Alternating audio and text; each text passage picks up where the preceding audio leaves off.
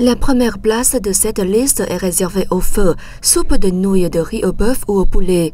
Selon CNN, il est difficile de trouver une rue dépourvue de ce plat incontournable au Vietnam. Délicieux tout en étant très bon marché, le pho peut être consommé à n'importe quel moment de la journée. Un plat inoubliable pour tous les gens de passage au Vietnam. Vient ensuite le bún cha, le premier choix pour le déjeuner. Le bún cha a comme ingrédient principal de la viande assaisonnée, rayée au-dessus de braises de charbon de bois. C'est un des plats favoris des Vietnamiens. L'ex-président américain Barack Obama l'avait d'ailleurs testé lors de sa visite au Vietnam pour un moment insolite.